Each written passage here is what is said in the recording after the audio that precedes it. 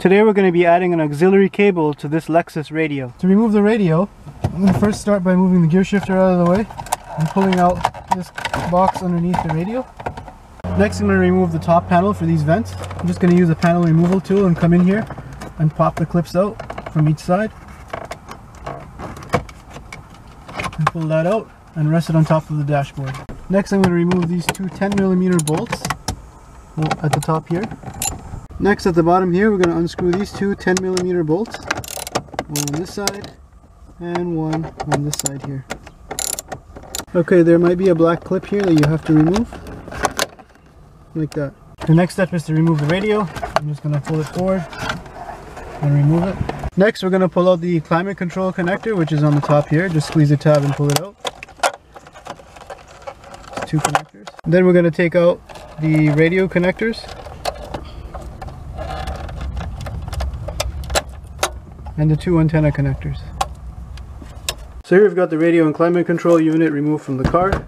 I'm just going to start by removing these screws on the side here to remove the climate control part from the radio. I'm also going to remove these four screws from the side brackets. Okay, so with the bracket free I can remove the climate control unit. Next I'm going to remove these two small screws that attach to faceplate. Next I'm going to use a flat screwdriver and lift up these tabs here and slowly pry the face off of the radio. And then I'm going to move over this way and get the tabs on this side. And then I can pull apart the radio face like that. Next I'm just to pop this metal piece up from the radio Next I'm to remove this top circuit board here that's blocking access to the cassette player. There are four screws, two on each side. One more screw in the back here to remove. This is where the connector is on the circuit board, so I'm to gently pry it up here and remove this part of the board. This here is the cassette player and the stereo. I'm just going to remove the four screws that hold it to the circuit board. Then I'm going to gently pry the circuit board connection here and remove the cassette portion from the stereo. So here I've got the cassette deck. As you can see, this ribbon cable is where the sound comes from the head and goes into this equalizer chip. We've got the right terminal and left terminal here.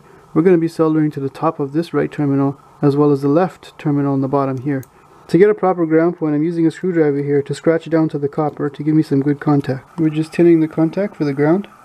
Now we're just applying a little bit of solder to the contact of the right terminal. And we're just applying some more solder to the left terminal here. Okay, we've got the wire in place on the right side. We're just going to solder the wire in. And we're just soldering the wire for the other side. Finally, we're soldering the ground connection onto the PCB. The cable we're using is just a regular 3.5 millimeter microphone extension cable. I'm just going to cut a little bit of it off. And then strip these wires and attach them to the radio. So I've traced my extension cable for the left, right, and ground to a pinout for the 3.5 millimeter jack. Yeah, just tinning the tips here. Okay, here we are soldering the wires together between the auxiliary wire that plugs into the phone and the extension wires that come out from the radio. We're just wrapping a little bit of tape around the wire to make sure it's insulated. So here's what it looks like after I finish soldering the ground and left and right connections. I've also disconnected the head from the cassette so that it doesn't cause any interference when I'm playing through auxiliary. So I just use a pair of side snips and I took out two of these little vent holes so that I can pass my wiring through there.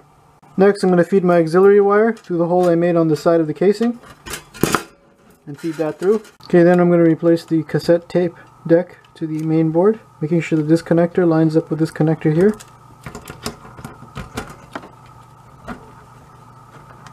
Then I'm going to replace the four screws that hold on the cassette player. Next we're going to replace the radio board. Make sure the connector goes in. And then replace four Phillips screws, two on this side, and two more Phillips screws on this side. One more screw on the back of the antenna. Now that everything's assembled, I'm going to go ahead and pop on the top cover. So looking at the LCD radio backlighting here, the two lights are blown. They are located here on the back of the circuit board. Take off the two screws and you can access them right here. We're going to be replacing them with 12 volt LEDs. As you can see these lights here are soldered on so we're going to go ahead and desolder them.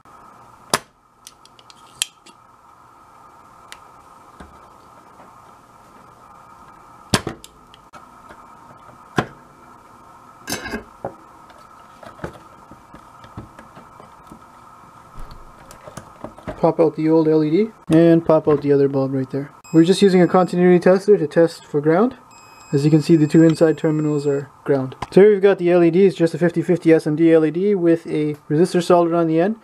The one with the resistor is a positive side. We're going to solder the negative side to the inside of these two terminals here. I'm just going to insert the LED from the back, bring it around, and fold the leads over onto the terminals. Here we are soldering the new LED to the board. Just chopping off the end of the lead there. Alright, so here we got the two LEDs soldered in. I'm just going to go ahead and replace the board. Just replace this screw here. One more screw on this side. Then I'm going to pop on the radio face. And then replace two screws on this side. And two more screws on this side. Next I'm going to replace this bracket onto the side of the radio and screw in four Phillips screws. So here we've got the assembled radio. Got the aux wire coming out which we can run into the console. I'm going to go ahead and install this into the car now. Here we are inside the car. I'm just going to replace the HVAC unit onto the bracket and then install this bracket on the other side and then replace the four screws. And then replace the four more screws holding the climate control to the bracket. Now before I install this radio into the dash, I just ran the aux wire around the side here so that I can access it with my phone. Next I'm going to reconnect the antenna wires to the radio. And then connect the two radio wires.